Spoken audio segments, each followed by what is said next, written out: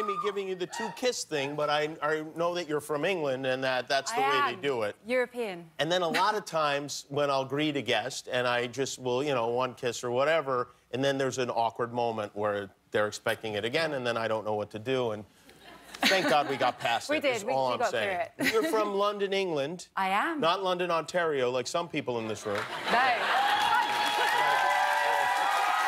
We're not gonna sit again. She works at a bank. It's not going to last that long. Um, are your are you, were your parents from London as well? Is the whole family from London? No. No. No. We're- So I was born in London and I was in raised just outside London in Kent. But my dad grew up in Hong Kong Okay. um, and he went to college in Scotland. My mum was born in China and she grew up in Scotland, so they met at college. They met in Scotland? in Glasgow. oh, that's pretty great. And then you moved from Scotland. They moved, and then they had Scotland you. down to London and had me. Now, are, were they excited that you went into acting as a profession? Um, I wouldn't say they were excited as such. Um, no, because I originally, I originally studied law. Um, went to university, did a law degree. Oh, you got your law degree. I did. And then didn't use it. Didn't didn't use it. No. Oh, yeah. How much did that cost them? Like, how much? Do you know what? Actually, at the time that I went to university, the, the fees were subsidised, so it wasn't it wasn't too bad. Oh, wow. Um, and they're not yeah. anymore. Uh, no, they've gone up. gone up because a of what you did. Yeah. yeah. Maybe you'll play a lawyer one day. Um, Maybe that I haven't yet. I Are they haven't yet, okay with no. it now? They're so they're so proud now. They're They are. really- Oh, that- yeah, really- sure. Well, they're sure. really proud. No, they were they were understandably. Um, they were fearful, and you know, I don't come from a showbiz family at all. Right. Um, and yeah, they they uh, you know, and I my dad had a point. He said at the time, you know, it kind of doesn't matter how how good you are, you're not going to get enough work, particularly at that time. In That's in, supportive. In, I know, I know, but I you know I understand what he said because you Yeah. know, ten years ago when I left drama school, like the landscape was very very different, um, and particularly in the UK, there weren't many faces that looked like ours on on screen. So, Right. Yeah, he did. He did have a point. Of And then when you're in the Crazy Rich Asians, they must have been ecstatic. I mean, this is like a worldwide hit. Yeah, no, they were really, they were really, proud. And I took them to the premiere with me in, in London. And You I, did? I sat with them and watched it, and it was a really emotional, kind of cathartic experience. I'll for all of bet. I'll bet. Did you Yeah. look over and go, see? No, of course I didn't. No, I'd never do that. Oh, okay. I guess that's just me. Um, so you, this is a very odd thing that I learned about you today. Is that there's a ro- someone made a robot that's Yeah. based. Uh, it's really almost identical to you.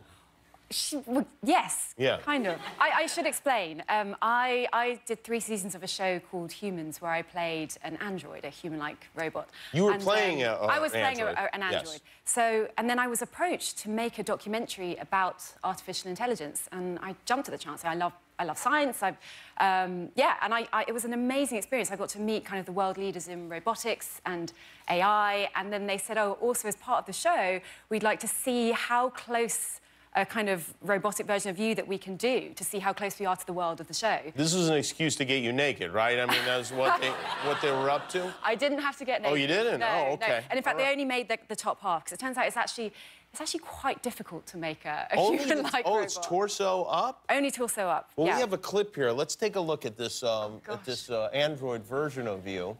Uh, what have you been up to today?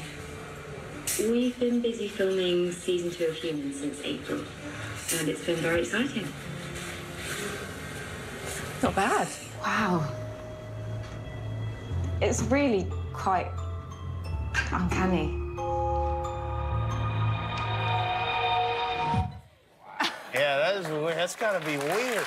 And where? It, I can't tell you, Jimmy. It was, it was so, it was so surreal and strange. And she also, it wasn't just that she was a ro- robotic, physical likeness of me. Um, we kind of fed in all that, every, anything I'd ever said in public in an interview, they fed it into the algorithm. So she was meant to come out with phrases that were things that I might say. And some things she came out with were just way off base and just completely bonkers. Like she had her own personality completely. Yeah. And then other things she was she was completely on the ball. Like she started talking just after one of those clips. She she started about you know. Uh, Someone asked her, you know, what did you have for breakfast? She said, oh, I had cheese. I love cheese. And I love cheese. I was like, I don't know how. I don't know how she found that out. It Well, was a lot of people love cheese, in fairness to the robot. Okay. Do you, who has the robot now? Uh, so there was a there was a big debate about what to do with her at the end of the show. Uh, she cost quite a lot of money to make, and like, should we sell her? Should oh, the scientist who made her wanted to keep her. Oh, boy. Yeah. I, Yeah. I don't know. no, not like. He said. Yeah. Yeah. Yeah. I know scientists. Believe me. It's not all work. It's don't all he was- science. Oh God! No, he actually said, you know, he wanted. He was like, if only I had a bit more time to kind of tinker with her, I could kind of perfect her. but that's what he said anyway. Uh, but it, she ended up in the Science Museum.